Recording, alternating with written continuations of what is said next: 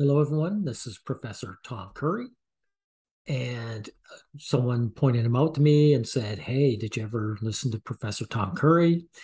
Uh, he says a lot of the same things you do. So I have been watching them, and I have to say, uh, if Professor Curry tries to blame feminism on another group of men, it's over. He is actually not pro male, he is actually anti male. Now, this isn't a very good sign. Tough Talks, they mistook a backlash for a movement. He's talking about feminism. So the feminist movement is a real movement, very real. And he, I have a feeling he's going to blame it on someone else. But before I get into it, just realize here's all these black suffragettes. And here's a article talking about first came suffrage, then came the women of the Ku Klux Klan. So there were the everyone knows that these white suffragettes were absolutely just as racist as every other person, as any man of that era. And yet, black women joined up. Why did they do that? Because these black women know that sex trumps race. I'm going to repeat that because it's important. Sex trumps race. They know that they're going to be seen as women first and as Black people second. And that all the rights being stripped away are really going to be to be stripped away from Black men, or in, in the case of that era, uh, the Black men weren't going to get those rights. Right. So, professor here better realize that. Now we'll start around here and we'll start as an introduction. Do, do, do. So, what I'm going to do today is talk about feminism not as a movement, but a backlash against black male emancipation. There you go. He's already failed.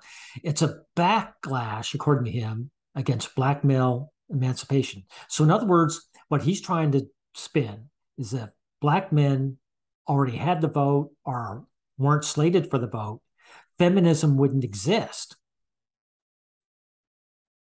Now, he's just wrong about that. And there's a lot of things about feminism that we just don't know, that we don't study. Well, that's sad that you don't know because anyone can find out. I found out. So if you for him to say that means he's, he hasn't even bothered to look or he's spinning some propaganda. Because we take a kind of pop culture orientation to it and we devoid it from its actual historical situation and context. So quite often, the more popular an idea becomes, the harder it is to question the rise of that idea. So introducing skepticism or questioning the propagandist aspects of what has become a cherished ideal, a belief or thought to be obvious or intuitively correct is often seen as heresy. Feminism has become such an idea. Over the last several decades, the history of white women's rights movement as its leaders have become increasingly described as not only influenced by racism, but intimately committed to the preservation and imperial projection of white supremacy. It is not influenced by racism. It is a mere coincidence if a white woman who's a feminist is also a racist. After all, Professor, the hashtag Me Too has gone after many high status white men. So it's about sex, period. It's only coincidental if you are a black man who gets zapped. All men are slated. All of us are, are targeted. For example, the historian Louise Newman has argued that, quote, racism was not just an unfortunate sideshow in the performance of feminist theory. Rather, it was center stage, an integral, constitutive element in feminism's overall understanding of citizenship, democracy, political self possession, and equality. Rather than being. No, it was not center stage. Center stage is the demonization of men. That's what center stage is for feminism. Because you see, today, no matter you, no point to arguing about the past when you can see it today. Because if professor was right about what he's saying, you would still see it today. You don't you see all races of men getting zapped. a generative critique of the racist legacy, suffragists, segregationists, and the competing political ideologies of 20th century America, much of the interpretive fervor given to the racism of American feminism has focused on the historical failure of integrating black women into the feminist movement. And the failure? I see black feminists everywhere. I see feminism showing up in Korea and and China and Japan. It comes from the desires of women, Professor. The contemporary absence of intersectionality amongst white women. The explanation of feminism's failures have been articulated as failures of inclusion, the exclusion of black women. Little to no research has evaluated the cost of feminism's racist caricatures and political appeal to white supremacy to black men. The previous research by historian Michele Mitchell specifically her article entitled Lower Orders, Racial Hierarchies and Rights Rhetoric, Evolutionary Echoes in Elizabeth Cady Stanton's Thought During the Late 1860s, is exceptional in showing that the dangerous racialist thinking of white suffragists such as Elizabeth Cady Stanton redefined the movement. Mitchell does No, it didn't. The, the movement has always been man hatred. Not see Stanton's ideas as blameworthy, however, right? Because Mitchell doesn't want to see Stanton as fundamentally connected to the kind of discrimination that happened in the late 19th and mid 20th century. The violence of feminism, its pursuits of imperialism, its violence and criminalization of black men and other racialized males, its demand for segregationist logics to protect womanhood. By the way, thank you for saying imperialism, because I agree with that professor. Uh, feminist women LARP as Marxist and communist every one of them were full blown capitalist. They they they draw resources from men. Trust me, they're 100% capitalist, every one of them.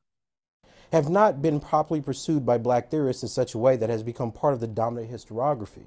Despite black males being the group specifically targeted by white suffragettes during the debates over the 15th Amendment, and by women's rights groups who feared engaging a public field of free black men who they thought were rapists.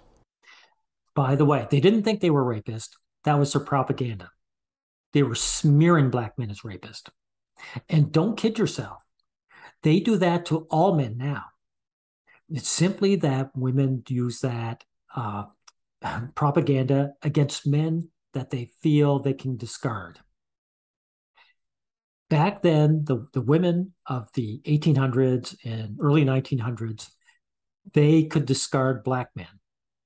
And as you can see, now, in modern times, due to technology, they can discard white men too. And you'll notice that all races of men, that's Hispanic, Asian, white, are now all rapists. We are all rapists now, right? These ideas not only mirrored the ethnological thinking of the day, but sought to advance such racial theories as public opinion and social consciousness on the matters were not only tied to race, but racial manhood. If scholars accept, as they often do, that 19th century feminism was a transformative movement that changed the social consciousness of its day, then we must also accept that its racism was not solely isolated to the minds of its architects and leaders. Elizabeth Cady Stanton was a racist. She believed wholeheartedly that white women were more evolved than blacks and more developed and civilized than black men. Yeah, exactly. Black men. That's right. Because you were a man. They feel they are more civilized and above men. Your race was coincidental. And this is fundamentally important because in 19th century ethnology, the way that we understand gender was not exactly the way we understand in the 21st century. In the 19th century, genders did not talk about bodies. They were characteristics of races.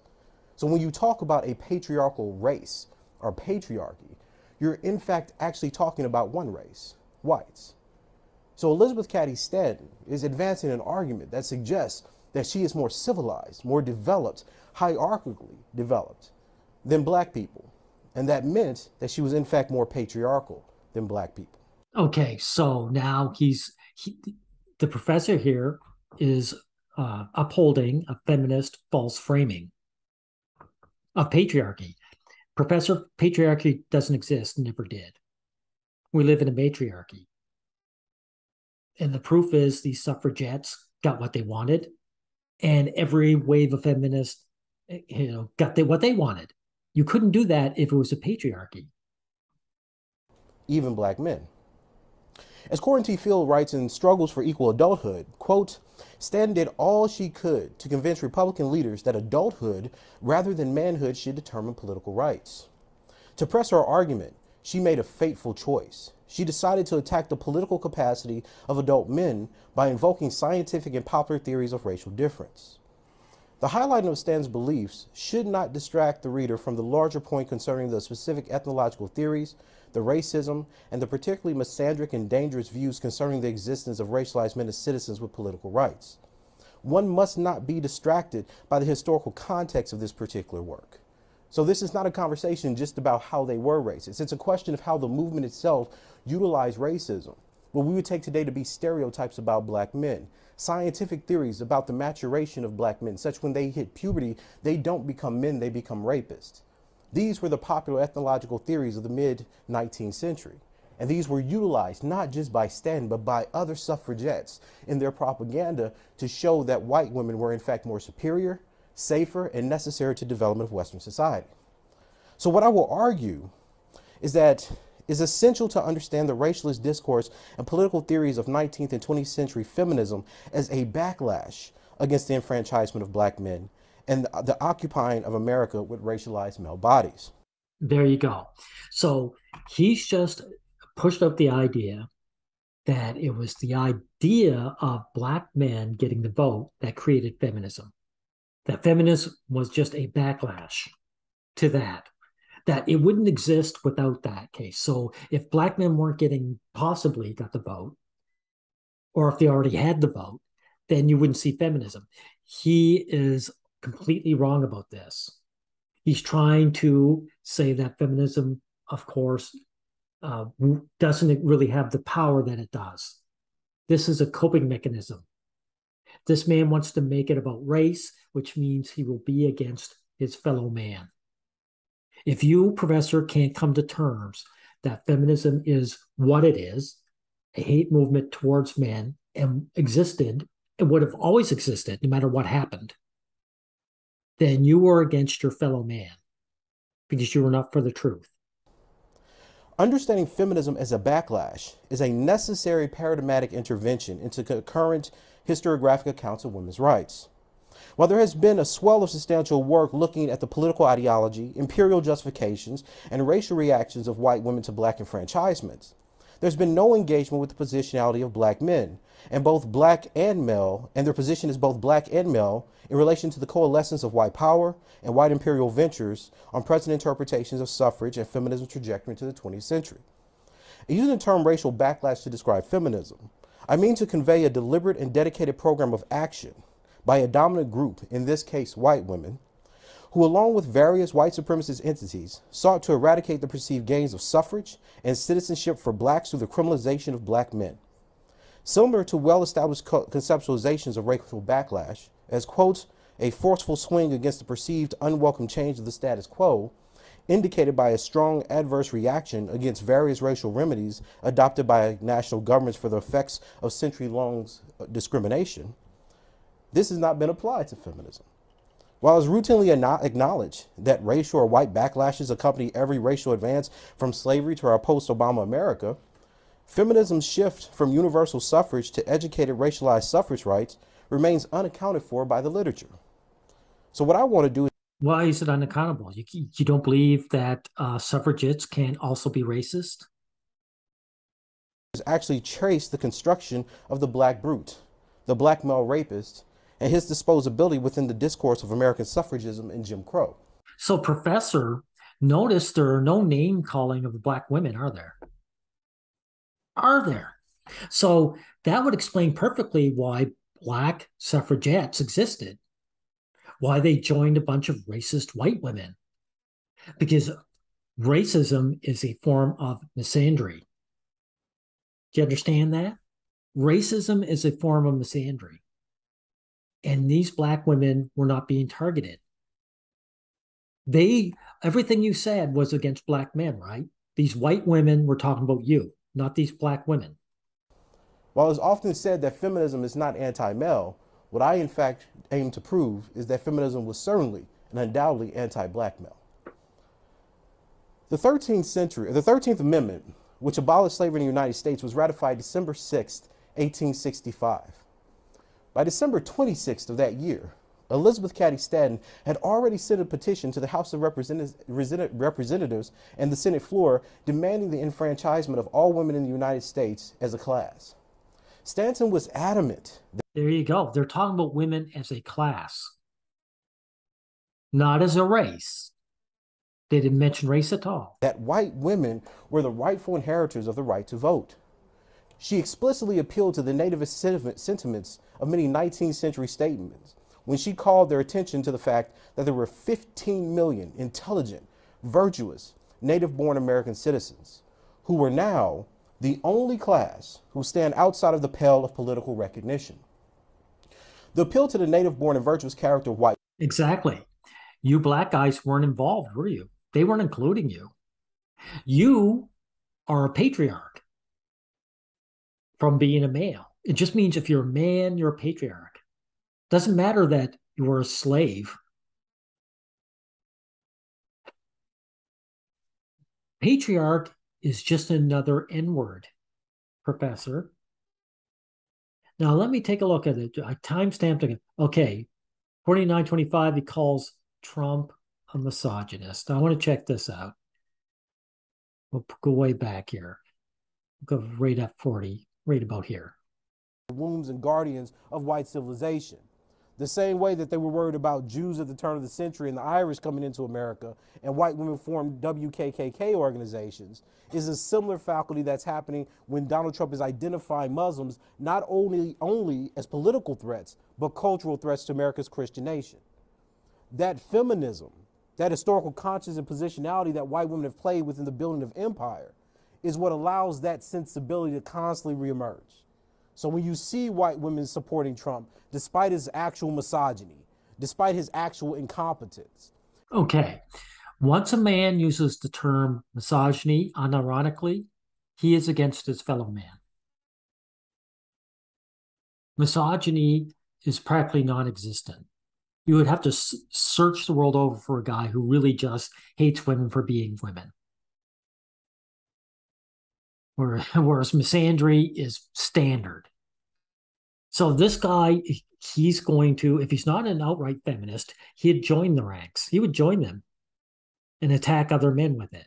He wants to get at the white man. He's angry at the white man. And that's why he's calling this hate movement a backlash, right? And trying to make it about race. He doesn't want to blame women for what's in their own hearts in spite of fact that there are women join these racist white women because these women don't like you guys any more than the white women like us white guys. It's appealing to something that's much richer, richer and historically situated in how white women have interacted with racial groups. We don't often think of white women as racist, right? We don't think of white women as rapists. We don't. Yeah, why don't you though? I mean, that is true. But everyone treats it, including you, treat women like they're just naturally good. What is that called? The halo effect? Every race of man wants has feels the same way about women, no matter what the race of woman is. Think of white women as colonizers. So when we see white women doing something, despite the fact that this is what they've done for most of the 20th century, somehow we're shocked. And that tells me that there's an epistemic problem. Yeah, like you right now, calling this terrible hate movement a backlash and blaming it on race.